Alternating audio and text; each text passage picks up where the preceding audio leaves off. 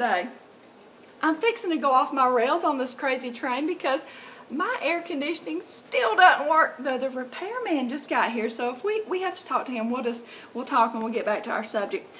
But we're having a little bit of lunch. I already ate a bunch of this, but there is some banana ice cream. If you're not familiar, you take your bananas, super ripe, you peel them, you throw them in the freezer in a Ziploc container or whatnot.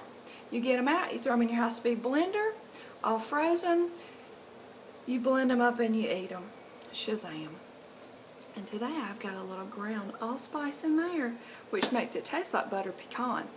Because, you know, you have to have some staples, like, um, let's just say you're trapped. You can't even do your hair right because it's so stinking humid. And my friend Scott did put me in a temporary um, window unit so that I wouldn't sweat to death. But you have to be trapped here. You can't even go to the grocery store because you have to wait on the repairman. They tell you a certain time, but they really do lie. And frankly, you could have had just two days ago a whole refrigerator full of low-fat raw vegan food, and now guess what you have? Nothing. I mean, when I clean out my refrigerator, I, I really like, like, there's just nothing in there because there's some water, we have some kale, and we have, of course, some sprouts. In the freezer, we have nothing. oh, I do have all my lemon and um, ginger cubes. And I have these. These will also work if you're going to, it's like a reusable little thing from the natural food store. Um, for frozen bananas in there. Um, you can also just use, you don't have to use baggies if you run out. I ran out. I didn't want to buy any because I didn't want to spend $3, so I didn't. So that's pretty much all I have. So the point is to make do, I'm going to have banana ice cream because I don't have to think, well, you know, I could just have, have some crackers or something that's going to make me sick or something. No, have a backup plan. And mine is always banana ice cream because I have that. And typically I have some celery, but I ate it last night. So I'm coming to y'all because I want to talk about this. Not absorbing other people's negative energy. You know, you are not put in this world to just please others. You know what I mean? To live up to their expectations. Frankly, I you know, I go about you know, my days now, like, um, you do your thing and I'll do mine. You know, peace and love and tranquility. And somebody said on a comment on the YouTube comments that um, I sounded like I had a little new new age going on, like something from the 60s. I'm really not stoned. It just seems like it. Um, it's just that I live on a, on a different frequency and vibration now that things just don't bother me. I really don't absorb other people's crap anymore. I just don't have to, and I don't. Um, you know, if you want to heal yourself, it is more than, than the food you're putting in your body. It is more than the food you're not putting in your body. It's more than the rest you're getting. It's more than the exercise you're doing. It's more than the pure water you're drinking. What are your thoughts doing? And what negative junk are you allowing to be absorbed to your enter from other people? Um, not taking in other people's junk helps you remain calm and balanced inside, don't you think? You know, and when we can get to this point, it starts with loving yourself. When we can get to that point where we genuinely love ourselves, we can love others where they are. Even people, you know, when you have a YouTube channel and people watch you and you want them to, a lot of times they say mean things. And um, you really have to have the, it's not even the ability to have a thick skin, it's the ability not to give a fruit. You know what I mean? Not that I don't care what people are saying, but I don't internalize that. Do you know what I mean? Are y'all at that point? You know, I mean, loving others where they are, no matter where they are. Not letting it affect you, keeping in mind that you don't have to let their emotional state change your inner balance. Your inner terrain can remain the same. And that's not like some goofy Zen yoga, just hmm, which I do think well, it won't work in this situation because I'm doing this, but breathing, you know, realizing, using your senses to get beyond that. Why do we give people control like that over us? Isn't that interesting? Um, As you become more sensitive, though, on this diet and lifestyle,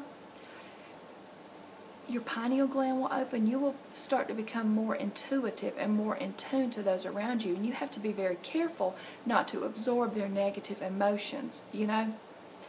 And not that you don't care, but you can't let it affect your inner balance or you're losing the gift of yourself that you are to the world that only you can feel, you know? Um, as you clean up your life, you're going to start to notice this more. This is why I talk about this a lot. It's something I've had to learn over over the years to create balance in my life. Um, you know, not everybody's going to like me. Not everyone's going to like you. Not everybody's going to like the path we've chosen in our life. Um, but really, you don't have to take that on. You know what I mean? Um, be yourself and true to yourself. When you, when you are that is easier to not absorb other people's bad vibe or bad negative vibe towards you, you know? Because you can accept them where they are. If they say, you know what, you're a Fruit Loop, nobody is going to live like that. Nobody um, really gives a rip what you're saying, Tanny. And I can say, okay, I understand that you feel that way. it didn't affect me. I don't internalize that. It doesn't change who I am, nor what I think about myself. Choose whether or not you will let this person enter your mind and your zone, so to speak. This person's thoughts do not have to be yours. Um, you know, we give people an invitation to enter our mental realm. Do you know what I mean? Physical or mental or emotional. We give them an invitation and we either accept or deny their invitation. We do not have to go to every party that someone invites us to. Not everybody has to be involved in my mental party I have going on, you know. That's funny. We have the power to invite people into our thoughts or not.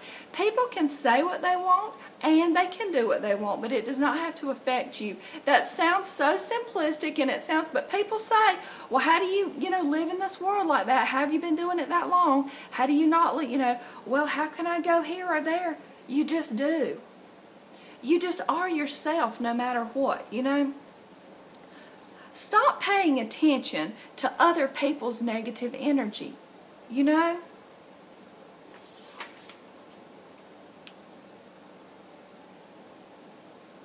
Thoughts are energy. Stop giving these people your energy. You know, it's a give and take. You give them the energy and they take that from you. What are they giving you in return? Don't go to their party. You know, learn to breathe like a butterfly. This, this is a, a real thing, okay? The more you breathe, the quicker you breathe, and the, well, and also deep. But, you know, even like being in the moment of quick, shallow breaths or long, deep breaths, but what you're doing is you're being in that moment, and also it increases the blood flow in your body, increases your breath, and increases your calmness and your mental alert state. You know, the more in charge we are of ourselves, the more we can become our own unique gift to this world. And isn't that what we want? Because if you don't think you're worth anything in the world, that the unique gift that you have, you don't deserve to take time to cultivate that or time to shine, really, what is your point? That's what I ask myself sometimes. You know, when you have your breath moving more and you're more in tune with that, you immediately go to a different frequency and different vibration.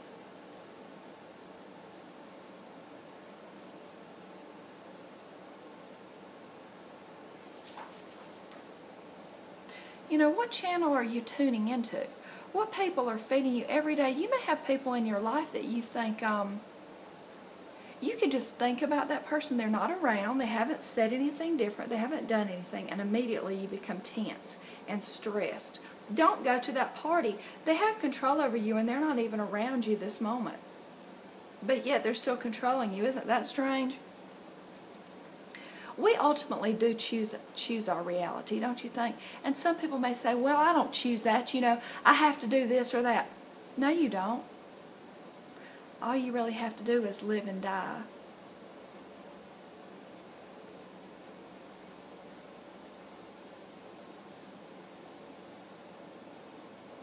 Some people don't want to upset other people. You know, they're these people pleasers. Um, they choose to blend in instead of being their authentic self. Instead of uh, choosing to listen to their heart song. So actually, instead of giving people, they're, they're these people pleasers, these givers. But they choose to mute down their own heart song, and instead of giving to people they love, they actually steal from them. They steal from them because they don't emanate their own unique quality, their own unique self. You're the only person that can be you, you know? You're the only person that got up this morning with the special job of you. The job of you. No one else can fill your shoes. Nobody, no corporation, no, no anybody can say, well, I'm, re- I'm replacing Tanny. I'm going to fill her spot with someone else. Because guess what? No one can. No one can be me but me. Isn't that liberating? No one can be you but you. So we don't want to steal that gift from others, do we? Don't just blend in, you know? Don't sit down and shut up. Stand up and speak up for who you are. Loving yourself is the greatest revolution. You know what? Doing your own dang thing. Even if people think you're on some crazy train, you know? Do y'all want a bite? I can feed you. Yavaşla